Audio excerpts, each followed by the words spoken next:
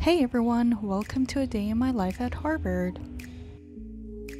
It's 7 o'clock, I wake up, get myself ready, Good morning, everyone. Ohayo. and I head down. This is Currier House, one of the student dormitories of Harvard. 7:30, time for breakfast.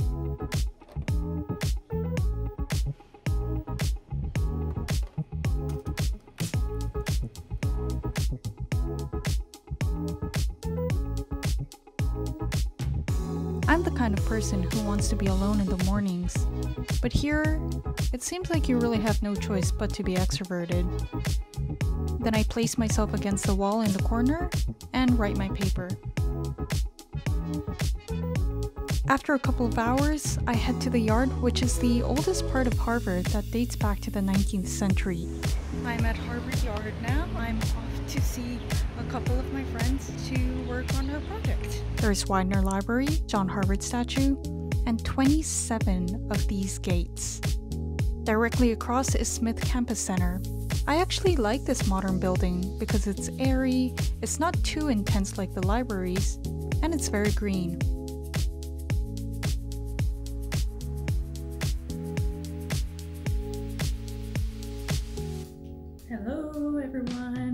Is 12 o'clock. My group is late.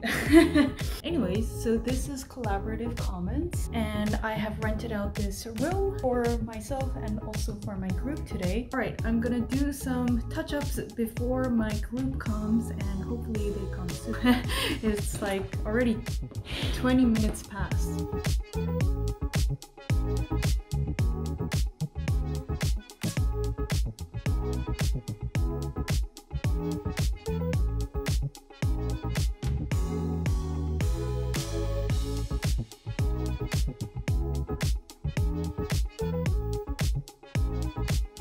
Consumer-centric um, beauty appointments and also the business-centric uh, salon management software in the Philippines. Hello!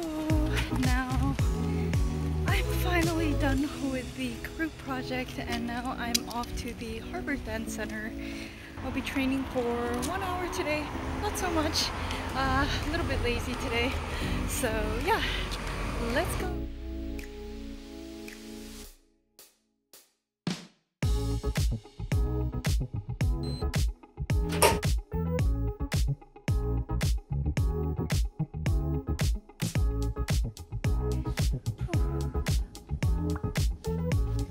Hello!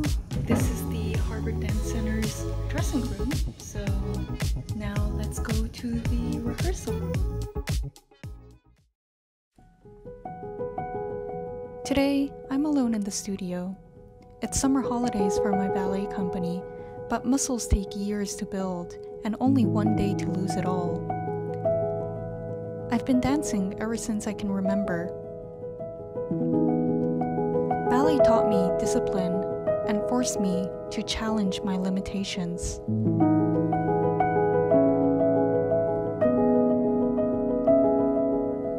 Ballet is a pillar in my life and a big part of my identity after years of perfecting each movement.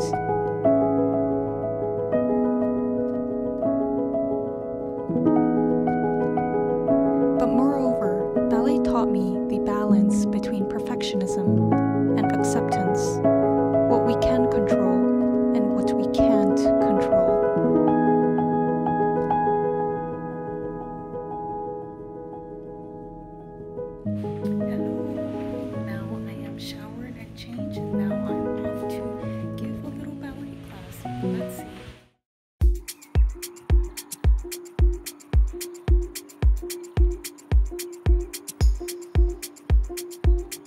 honest, I've never really liked teaching, but these days I find it really rewarding to pass my knowledge on to others, because then the experiences that I've gained throughout my career are shared and multiplied with others.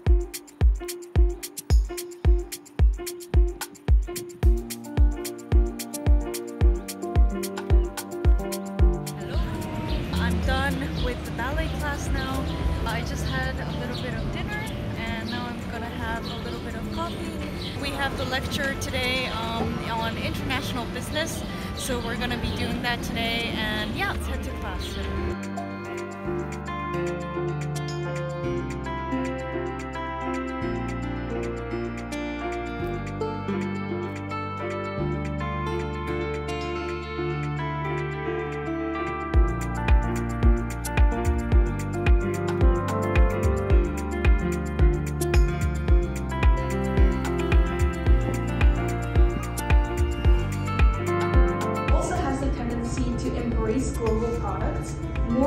In neighboring countries. Over 86% of people in the Philippines have access to the internet, and e-commerce is also on a steady rise.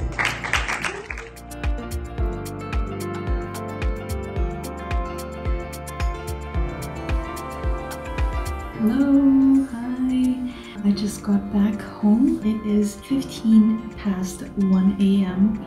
I'm really tired.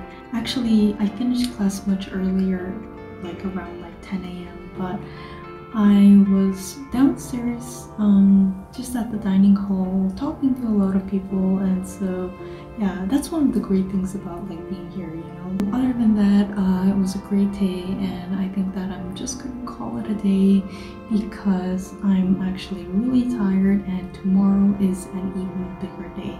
So. Thank you guys for watching and uh, hope you enjoyed my video. I hope to see you next time. Good night. Bye bye.